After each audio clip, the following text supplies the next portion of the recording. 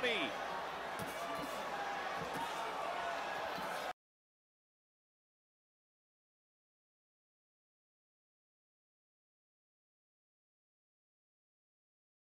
It's been sharp shooting all night in complete control.